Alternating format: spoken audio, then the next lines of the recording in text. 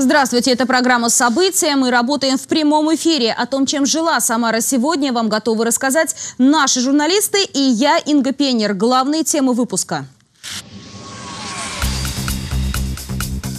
Жесткая встряска, за что руководителям коммунальных служб досталось от городских властей.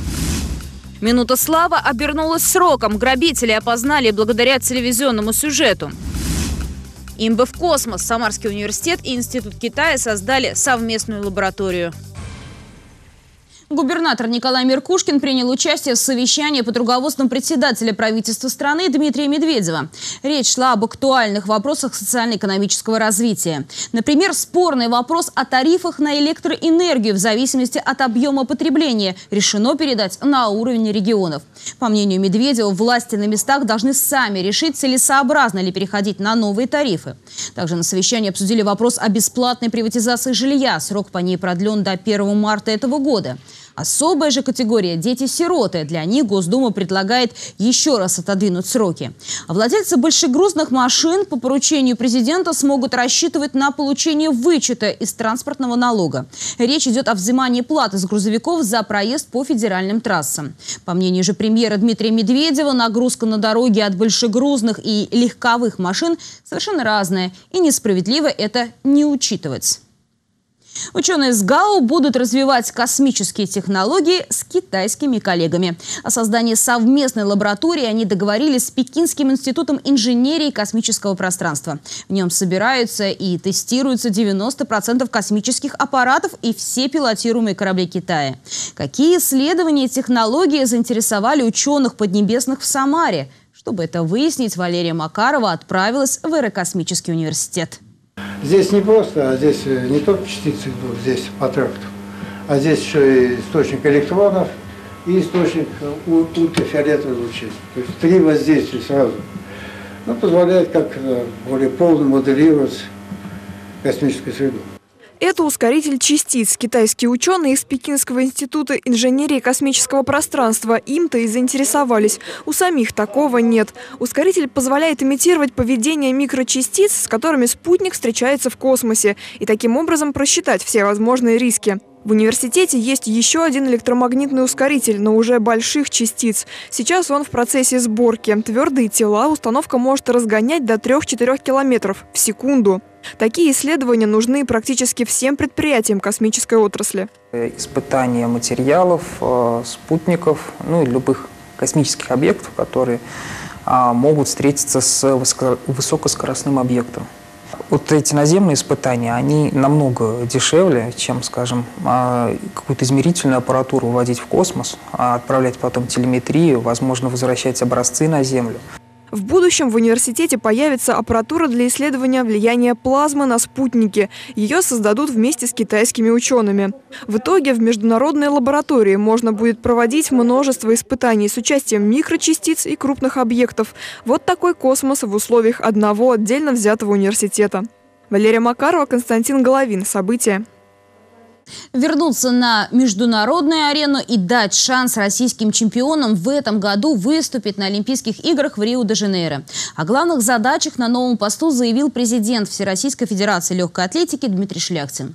На эту должность министр спорта Самарской области был назначен 16 января. После допингового скандала, в котором оказалось замешано прежнее руководство, и отстранения российских спортсменов от участия в Олимпиаде, Дмитрию Шляхтину предстоит выполнить все требования Международной Федерации легкой атлетики атлетики. Их 22. Основные полностью заменить руководящий состав и проверить на употребление допинга 2000 спортсменов. План по выходу из кризиса новое руководство российских легкоатлетов должно подготовить к 12 марта. Сейчас нам надо просто отбросить все и дать э, шанс поехать тем, кто чистый, прозрачен, и ту молодежь, которая там каждый день ходит на тренировки и работает – там во благо своих результатов, дать возможность вернуть их на международную арену. Экология под пристальным вниманием. В Казани подвели итоги государственного экологического надзора в ПФО и наметили задачи на 2016 год.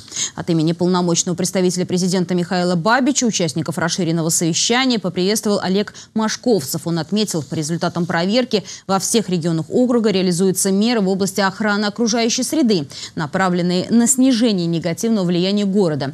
Вместе с тем остается ряд нерешенных проблем, в том числе правового характера, который мешает, к примеру, примеру, бороться с несанкционированными свалками, загрязнением атмосферного воздуха и воды.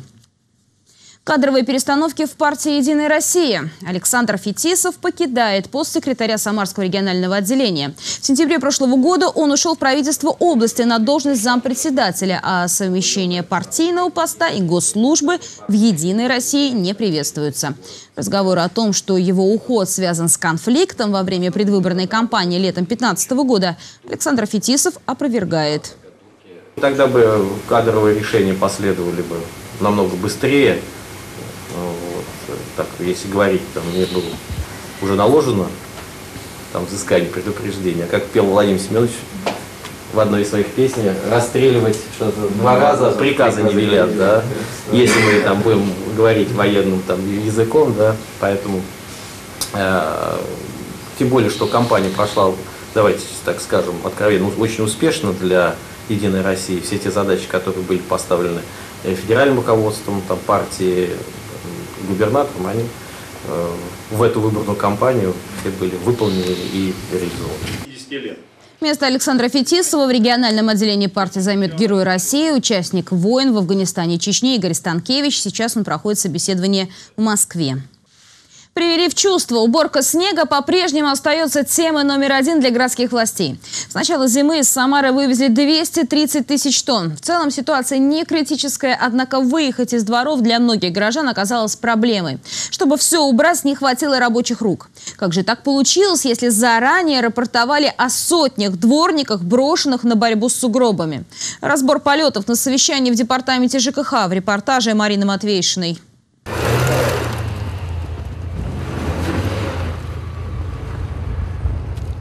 Выехать с парковки как положено получается не у всех. Автомобили так и остались в снежном плену, пока их владельцы поспешили на работу в общественном транспорте.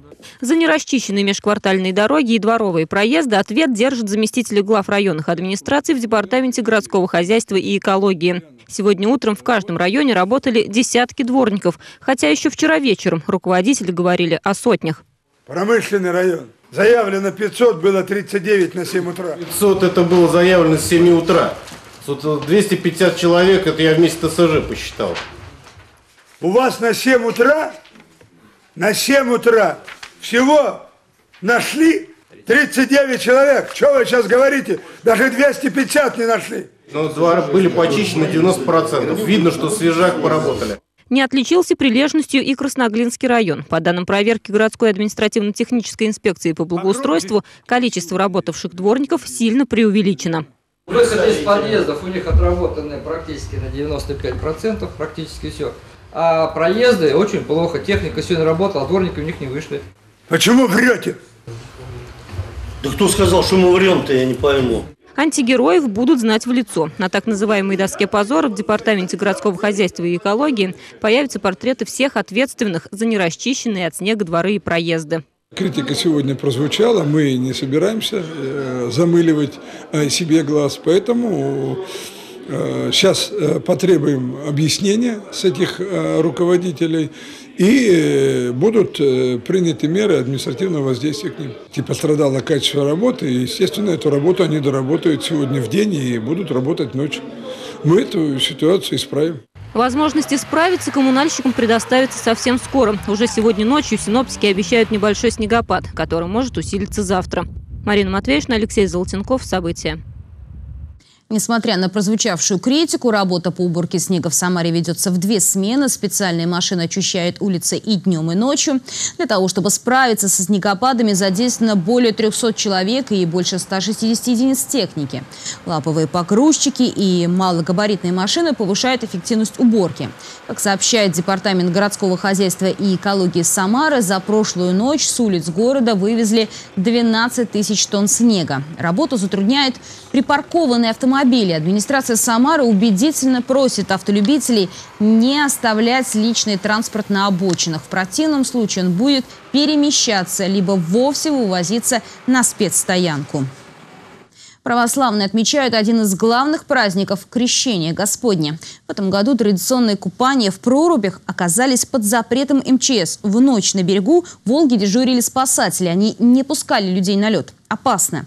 Его толщина сейчас не превышает 16 сантиметров. Но многих это не остановило. Алина Чемерис узнала, можно ли крещение встретить иначе. Самое главное вот залезть. Вот. Кто первый раз вот залезть, а вот потом уже отлично. Ну, желательно, конечно, растереться, вот, кровь разогнать. Советы желающим укрепить тело и дух здесь дают вопреки запретам спасателей. Еще ночью на Волге дежурил патруль и не пускал людей к проруби. Теперь, когда постовых нет, сюда с самого утра приходят любители крещенских купаний. Шанс разогреть кровь с помощью ледяной воды беспечные самарцы не упускают. Говорят, не боятся ступить на скользкий путь. Мы, конечно, проверили, все ли в порядке, то есть в первую очередь безопасность. И только тогда пришли закаляться. По православным канонам купаться в проруби на крещение желательно, но вовсе не обязательно. Для тех, кому необходимо окунуться в воду, есть купели при храмах. Но самое главное, говорят служители церкви, этот день провести с молитвой. Обязательно православный христианин должен все праздники проводить в храме. Существует вечернее богослужение, а, утреннее богослужение, литургия, где православные христиане причащаются христовых тайн. Э, нет э, большей святыни, чем э, причастие. Огромной силой, по словам священников, обладает и крещенская вода. В церквях ее специально освещают и даром раздают людям. Вместо того, чтобы на крещение нырять в ледяную воду, можно прийти в храм и набрать святой воды. Верующие говорят, она обладает чудодейственными свойствами. Потребляем, пьем и загадываем все самое лучшее, чтобы с нами было. Все было самое лучшее. Сбывается? Сбывается, не поверите, сбывается. В ванну добавляю понемножку, когда купаюсь в ванну, чуть-чуть добавляю. Вчера вот добавляла, очень хорошо спала. Прихожане уверены, чтобы в крещении очиститься душой, самое главное – наполнить мысли светлыми образами. Алина Чемерис, Алексей Золотенков. События. Смотреть телевизор иногда не только приятно, но и полезно. В этом убедился 52-летний житель Самары, когда увидел в одном из новостных сюжетов лица своих обидчиков. Обратившись в полицию, мужчина, он работает водителем такси, рассказал, что его ограбили пассажиры, которых он подвозил. Разбойников мужчина узнал в уроженцах соседних республик. По данным следствия, пятерых мужчин подозревают в серии нападений. Несколько из них были совершены в Самаре. По версии оперативников, подозреваемые совершили преступления имущественной направленности не только в Самаре, но и в других регионах Российской Федерации. В частности, в Пензенской, Ульяновской, Оренбургской, Саратовской, Новосибирской областях, а также в республиках Башкирия и Татарстан. Полицейские обыскали съемные квартиры, где проживали арестованные, и нашли там большое количество сотовых телефонов и планшетных компьютеров. Вещи, предполагают силовики, были похищены. Всех, кто пострадал от действий этих людей, полиция просит обращаться по телефонам, указанным на экране. А теперь коротко о других темах дня. За мзду ответят. В суде Октябрьского района Самары прошло заседание по делу руководителя туристическо-оздоровительного комплекса «Волжанка» Евгения Пуговкина. Его обвиняют по статье «Получение взятки». Яблоком раздора стали мусорные контейнеры и передвижной киоск, принадлежавшие кафе «Сокольи горы», которые незаконно разместились на земле, закрепленной за базой отдыха «Волжанка». За их размещение, по версии следствия, Пуговкин получил деньги. В лобовом столкновении ВАЗа и фуры под Цизернью погибли четыре человека. По предварительной версии, находившийся за рулем легковой водитель, двигаясь по федеральной трассе М5 «Урал», при совершении обгона выехал на встречку, где столкнулся с грузовиком. Водители трое пассажиров легковушки скончались на месте. Водитель грузовика не пострадал. Пожар бушевал этой ночью в частном секторе Самары. Пламя охватило дом и надворные постройки, расположенные в Ботаническом переулке. На место происшествия прибыли 66 пожарных. Из горевших помещений эвакуировали 8 человек. Возгорание ликвидировали за 10 минут. Площадь пожара составила 100 квадратных метров. Самарская полиция разыскивает мужчину, подозреваемого в совершении разбойного нападения на финансовую организацию, расположенную на проспекте Кирова. Злоумышленник, угрожая предметом, похожим на пистолет, пытался похитить денежные средства. Мужчине на вид 20-25 лет, рост 175 сантиметров, худощавого телосложения, носит очки. Всем, кому что-либо известно о человеке, фотографию которого вы видите на экране, просьба сообщить в ближайший отдел полиции или по телефонам 020. Сегодня стартует распродажа билетов в купейные вагоны по маршруту Самара-Москва и обратно. Купить билет на верхнюю полку можно будет всего за 999 рублей. Тариф действует с 19 января по 3 марта, за исключением чисел с 19 по 23 февраля. В акции участвуют два поезда 50 и 49. Купить билеты можно на сайте pass.rжд.ру или в кассах перевозчика. В Самаре стартовал прием в первые классы. За первые 20 минут записались почти 2000 человек. Правда, пока заявления от родителей принимают только гимназии и лицеи. За ними закреплена территория всей Самары. В остальных учебных заведениях прием документов начнется 29 января. Как юные самарцы готовятся к школе, узнавала Лариса Шалафаст. Будущей первокласснице Соне Вавиловой почти 7 лет. Пока она еще ходит в детский сад, но все мысли уже о школе. В течение года посещала подготовительные курсы. Теперь, говорит, к учебе готова. Знает все буквы и цифры и уже сама может собрать школьный портфель. Особенно Соне нравится оттачивать мастерство чистописания. Уроки, например, прописи. Они интересные. Там есть буквы. Соня пойдет в ближайшую к дому школу. Мама уже заранее узнала, как подать документы онлайн. В этом году на портале образовательных услуг такая возможность есть у всех родителей. Как работающей маме удобно в любом случае, потому что не бегать с документами со всем этим по школам, не стоять в очередях, потому что хватило подачи документов в садике. Вот, и очень удобно на самом деле. Мы уже ну, в школе раздавали бумажечки такие, где написано, когда можно отрепетировать подачу документов. Вот подавали, пробовали подавать, в принципе, удобно. С 19 января заявки от родителей начали принимать самарские гимназии и лицеи. Те образовательные учреждения, за которыми закреплена вся территория города. Всего их 17. В лицее «Престиж» все 50 мест оказались заполнены в считанные минуты. Завтра с 8 до 9 на своем сайте опубликуем реестр заявлений. Исходя из этого, родители уже зная, под каким номером ребенок или их заявление зарегистрировано, и в течение трех дней должны принести нам уже документы на бумажном носителе. Это свидетельство о рождении, заявление уже непосредственно здесь напишут. Все остальные учебные заведения Самары начнут прием заявлений в первые классы 29 января в 9 часов утра. В первую волну попадут заявления от самарцев, зарегистрированных на территории, закрепленной за школой.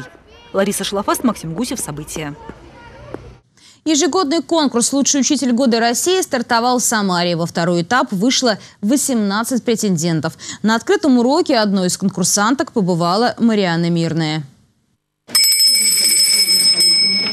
Как известно, звонок для учителя. Старт уроку биологии дает Сергей Кочерешко, лучший учитель России по версии 2015. Теперь он в составе жюри и внимательно следит за тем, как дети впитывают знания о плесневых грибах. Его коллега Ольга Ларцева рассказывает, как важно на уроках использовать новейшие методы преподавания. Мы используем э, образовательные ресурсы, которые очень которые очень важны для ребенка. Ну, в частности, это я использую презентации, модульную систему измерения пролог, это какие-то видеофрагменты, видеоролики, которые могут, могут вызвать эмоциональное отношение у ребенка в классе. Ну и, конечно же, интернет. Несмотря на стремительно меняющийся мир, система образования по-прежнему зиждется на трех китах. Любовь к детям, верность профессии и знание своего предмета. Побеждает всегда личность всегда э, будет заметен тот учитель, который сам по себе яркая индивидуальность. Конечно, э, наверное, несколько составляющих. Но, во-первых, это хорошее знание предмета. Все-таки хотелось бы еще и еще раз подчеркнуть, что в первую очередь нам важна и глубина знаний самого учителя. 18 конкурсантов проведут открытые уроки и беседы с учениками. По результатам окружного этапа выберут тех, кто представит Самару в области, а затем и будет защищать ее честь перед всей страной. Мариана Мирная, Константин Головин. События. В Самаре открылся новый офис учебного бизнес-центра Five Star System. Здесь самарцев учат финансовой грамотности, объясняют, как создать свой собственный бизнес. На открытии центра побывала Лариса Шалафаст. Как пройти свой путь к успеху, самарцы могут рассказать в бизнес-центре Five Stars System. Тренеры поделятся полезными знаниями о бизнесе и предпринимательстве, помогут повысить уровень финансовой грамотности и мотивируют на дальнейшее развитие. Мы не даем знания именно ну, углубленные и специфические, там, бухгалтеров, там, юристов, либо это для этого существуют другие курсы и другое высшее образование. Но мы даем человеку понимание вообще, чего в принципе он в жизни хочет. Потому что очень многие, поверьте, очень многие э, не знают, с чего э, начать, э, куда идти, зачем этому нужно. То есть это вот как раз те моменты, которые мы здесь обсуждаем. Занятия в центре идут несколько раз в неделю. Весь курс можно пройти в течение шести месяцев как планировать свой день, а, потому что это может пригодиться и в семье, что можно передать своим детям, потом внукам э, эти знания. Вот, то есть это очень важно. Всегда находишь что-то новое, то, что можно применить в жизни, то, что можно применить в своей семье, на работе. А, и всегда здесь уютно, комфортно, а, атмосфера очень доброжелательная, поэтому приятно приходить э, и получать знания. Очень интересно в плане, опять же, финансовой грамотности, то есть как, распоряди, как э, распорядиться своими средствами, чтобы это было рационально, то есть э, чтобы это не просто траты были, как бы, а шло в дело. Записаться на занятия в центре и получить полезные знания можно в любое время. Набор идет постоянно. Лариса Шлафаст, Григорий Плешаков. События. Доллар, рубль и нефть. Как они себя чувствуют сегодня? Свежие финансовые хроники от экономического обозревателя Андрея Троя. Здравствуйте! Доллар и евро решили сыграть отступление. Правда, всего на пару шагов и, скорее всего, ненадолго. На 20 января Центробанк установил курс доллара США на отметке 78 рублей 48 копеек. Курс евро 85 рублей 29 копеек. На бирже обе валюты подешевели куда более существенно. Евро потерял более рубля. Золото стоит 2758 рублей за грамм, серебро стоит 34 рубля 90 копеек за грамм. Нефтяные котировки отыграли вверх примерно на 4%. Сейчас бочка бренд стоит 29 долларов 79 центов. Центробанк отмечает, что чистый отток капитала из России в 2015 году по сравнению с 2014 снизился в три раза. Из страны ушло всего 57 миллиардов долларов. Конечно, может уже и вывозить нечего. А может инвесторы задумались о том, что холодную войну на финансовом фронте пора заканчивать. А на сегодня это все. Удачи в делах.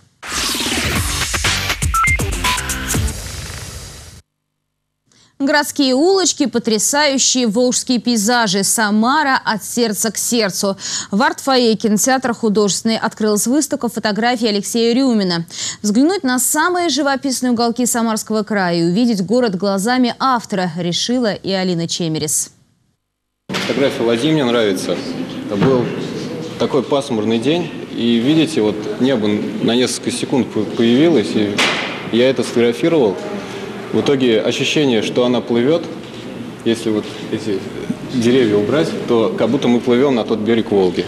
Самарские пейзажи Алексей Рюмин снимает уже более пяти лет. Любимые места фотографа – Старый город, вертолетка, Ширяевские просторы. На выставке «Самара. От сердца к сердцу» городские достопримечательности, лабиринты многоэтажек и завораживающая ночная природа. Чтобы каждая фотография стала произведением искусства, говорит Алексей, важно правильно работать со светом. Полуденный свет, к сожалению, он убивает полностью объем, он жесткий. В каких-то сюжетах это может быть интересно, но в основном пейзаж – это восход солнца, закат. То есть вот в это время очень красивый. Ну, еще ночная фотография. Ходил по городу и снимал все подряд. Так началось увлечение фотографией, рассказывает Алексей. Сразу понял, Самара – огромный источник вдохновения. Сегодня на выставке Алексея Рюмина более 30 работ. Полюбоваться ими в арт-фойе кинотеатра художественные жители смогут до конца января. Я в восторге. Как будто снова на берегу, как будто видишь это своими глазами. Очень впечатляюще. Здесь навсегда остаются все впечатления посетителей. У меня в руках книга отзывов. Мы тоже решили поблагодарить автора за прекрасную выставку. Алина Чемерис, Григорий Плешаков. События. На этом наш выпуск завершен. Смотрите телеканал «Самарагиз» в кабельных сетях города, читайте нас в Твиттере, скачивайте приложение и смотрите на экранах своих смартфонов и планшетов на базе Android и iOS. Удачи вам! Увидимся!